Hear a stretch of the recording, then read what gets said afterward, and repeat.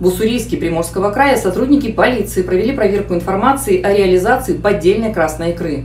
О правонарушении полицейские узнали из социальных сетей. Сотрудники подразделения экономической безопасности и противодействия коррупции выехали на Новоникольское шоссе, где с поличным задержали жителей Чугуевского района, 33-летнего мужчину и 38-летнюю женщину, торговавших красной икрой сомнительного качества. Граждан задержали и вместе с товаром доставили в отдел полиции.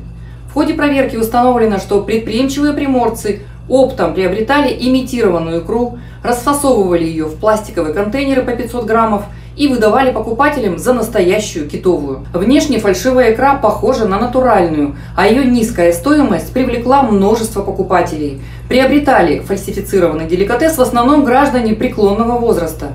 Правонарушителей привлекли к административной ответственности за незаконное предпринимательство.